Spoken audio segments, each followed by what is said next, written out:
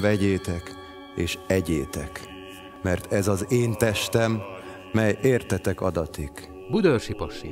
Nyári szabadtéri előadások május 28-ától június 10-ig magyar és német nyelven a Festői Kőhegyen. Budörsi Passió. Én úgy gondolom, hogy alapvetően az ember, ha ismeri a Bibliát, akkor ismeri az egész történetet. Itt arról van csupán szó, hogy rendező hogy állítja be, és hogy akarja, hogy eljátszuk a szerepet. Tehát mikor mit domborít ki, sok szöveg, vagy több mozgás, vagy színesebb játék, ez a rendező múlik. Most 2012-ben itt az áldozatvállalás, a szeretet, az együvé tartozás az, amit, amit előre hozunk, amit előtérbe teszünk, az, hogy, hogy ebben a nagyon széthulló és atomizálódó világban, ahol, ahol egyre jobban azt lehet érezni, hogy ez a civilizáció, ez nagyon recsegropog, akkor éppen a, az isteni kegyelemre és a természet szépségére, a szeretet együvé tartozására, az egyszerűségre próbáljuk fölhívni a figyelmet, hogy mindez az áldozat, ez egy élő valóság. És hogy bízzunk abban, mert ez lehet, tehát valóban Krisztus vére és áldozata lehet az összetartozásnak a kovásza. Ebben a passióban Tamás szerepét, a Tamás apostol szerepét játszom az idén. Az előzőben Máté voltam. Hát mindig változnak a szerepek, attól függ, hogy a rendezők ezt hogy látják jól. Nagyon jó érzés, itt a nagymamám is. Én a Passióban 96 óta játszom, Németországból voltak itt a Passió játékosok is, ott Veronikát játszottam, utána a Csíksomjói Passion, ott Sárát játszottam, és azóta utána mindegyik alkalommal játszom a gyógyításban a beteg asszonyt. Az első két órára hiányozhatunk, de a harmadikra már ott kell lenni. Én itt a Kőhegy oldalában lakom, és itt nőttem fel, sráckoromban ide jártam erre a részre focizni, és persze, hogy az idősektől hallottunk ezekről a hagyományokról. Olyannyira, hogy amikor elkezdtem 1989-ben Budaörsről csinálni egy filmet, próbáltam utána járni ennek a történetnek, és még akkor élt a Winkler Annus néni, és 1989-ben őt kérdeztem, hogy szereplője volt a Passió-nak, Esztert alakította, hogy beszéljen nekem egy kicsit a Passió történetéről. Amire emlékszik Annus néni, arról meséljen. Hát, hogy aztán az én szerepem, ugye, hogy mi volt, én nekem mindig hangos szerepem volt. Úgyhogy, mert voltak ezen nézők, vagy száz, vagy ha nem több, aki néma. Szóval aki... Néma szerepe. Ne, néma szerepe volt.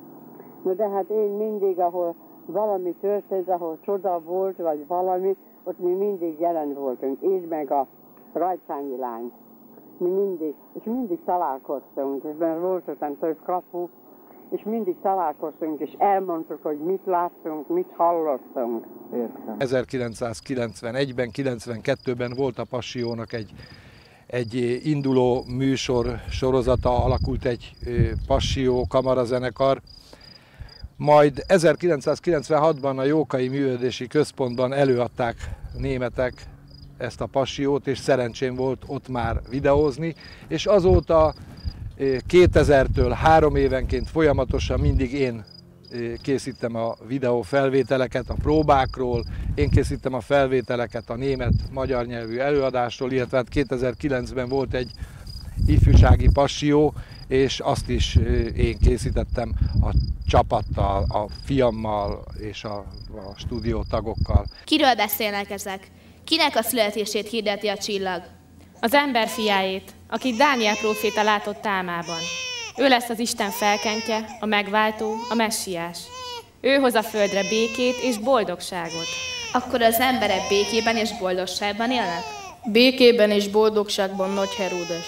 És mi szükség lesz akkor a királyra? Akkor semmi. Azt a gyermeket megöletem. Kisgyermek még. Egy csecsemő nem döntheti meg királyi hatalmadat.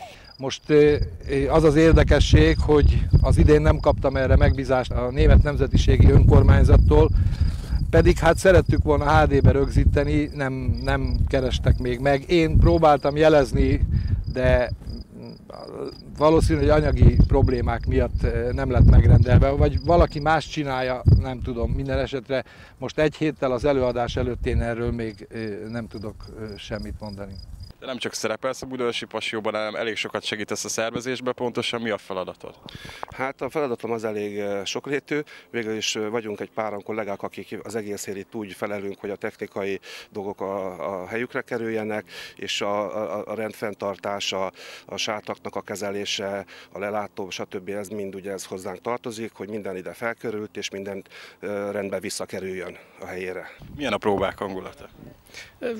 Nagyon jó, nagyon jó. Hát az időtől függően, ugye amikor hidegebb van, vagy eléggé esik az eső, akkor mindenki nyűgösebb egy kicsit, vagy ha már 3-4 órája próbálunk, akkor mindenki és akkor természetesen nem konfliktusok vannak, de mindenki így már próbál arra koncentrálni, hogy minél zöggenőmentesebben menjenek az egyes jelenetek, de amúgy teljesen, teljesen, hogy sem egységes a csapat.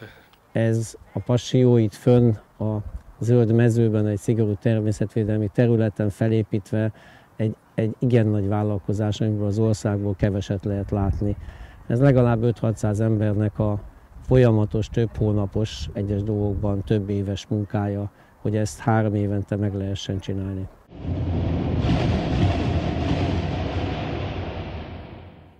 Ihr wisset auch, dass die weltlichen Fürsten herrschen und die Mächtigen unter ihnen, die Obersten, die haben Gewalt. So soll es nicht sein unter euch.